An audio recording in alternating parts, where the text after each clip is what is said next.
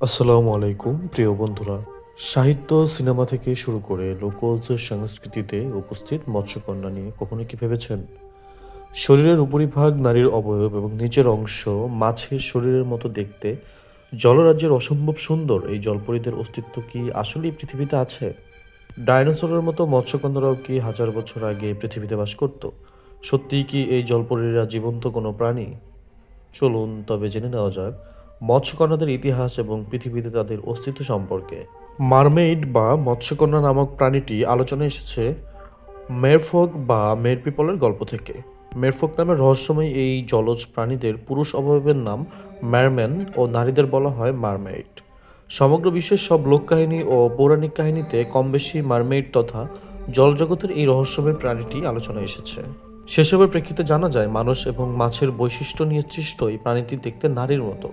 যার আছে কোমর অবধি সোনালি চুল, শরীরের উপরিভাগ নারীদের মতো এবং নিচের ভাগ মাছের মতো লেজযুক্ত সমুদ্রের উপরিভাগে ভেসে বেড়ানো এবং বসবাসরত এই জলপরীরা মাছের মতোই দীর্ঘ সময় পানি ছাড়া থাকলে নিস্তেজ হয়ে যায়। মৎস্যকন্যা নিয়ে সর্বপ্রথম বর্ণনা পাওয়া যায় সম্ভবত অ্যাসিরীয় সভ্যতায়। দেবী অ্যাটার্কেটিস ভুলক্রমে তার প্রেমিককে হত্যা করেন। নিজের ভুল বুঝতে পেরে অভিশপ্ত হয়ে তিনি সমুদ্রে আত্মহত্যা করতে গেলে সমুদ্র দেবতা পসাইডন রূপসী এই দেবীকে মৃত্যু না দিয়ে বরং অর্ধ মানবীয় অর্ধ মাছের শরীরে মৎস্যকন্যার জীবন দেন। ব্যাবিলিয়নীয় উপকথায় এই কাহিনীটি আছে দেবী ইয়াকে নিয়ে।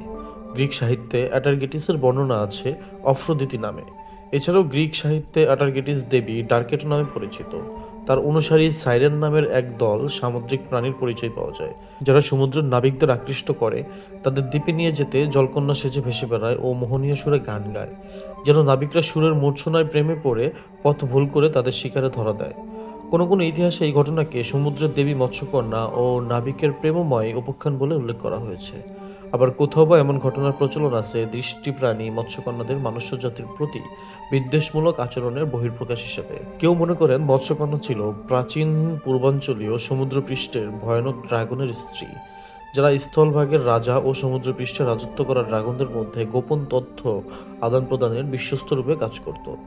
মৎস্যকন্যাদের নিয়ে আলোচনার দিক দিয়ে প্রথম সারিতে রয়েছে খ্রিস্টপূর্ব চতুর্থ শতাব্দীতে মোরফুকের প্রথম সারির লেখা একটি নথি যা সান হাইজিং নামে চীনা শাস্ত্রীয় পাঠ, যেখানে জীবজন্তু, পর্বতমালা পৃথিবীর অপার্থিব ভৌগোলিক বর্ণনায় মৎস্যকন্যা মৎস্যকন্যাদের উল্লেখ রয়েছে।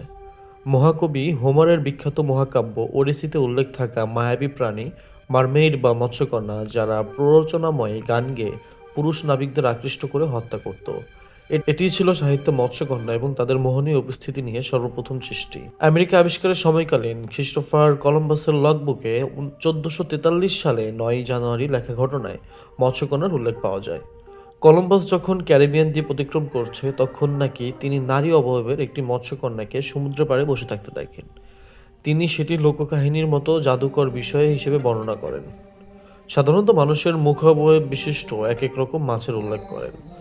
পরবর্তীতে বিশ্লেষকরা মনে করেন কলম্বাস ম্যানাটিস বা এই জাতীয় সামুদ্রিক প্রাণী দেখেছিলেন যাদের দূর থেকে দেখলে মানুষ বলে বিভ্রান্তি হয়।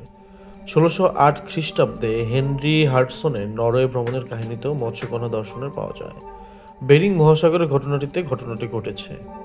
আঠারোশো সালে হান্স খ্রিস্টিয়ানের লেখা একটি একক মৎস্যকন্যার করুণ জীবনী যে মানুষের আত্মার জন্য সমুদ্রের কাছে নিজের জীবন বিসর্জন দিয়েছিল।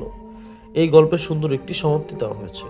এটি প্রথম লেখনী যেখানে মৎস্যকন্যাদের মায়াবী ও নির্দোষ রূপে বিশ্ববাসীর কাছে তুলে ধরেছেন লেখক। এই গল্প থেকেই দ্য লিটল মারমেড উনিশশো সালে ডিজনি প্রযোজিত প্রথম মৎস্যকন্যাদের নিয়ে নির্মিত একটি ফিল্ম।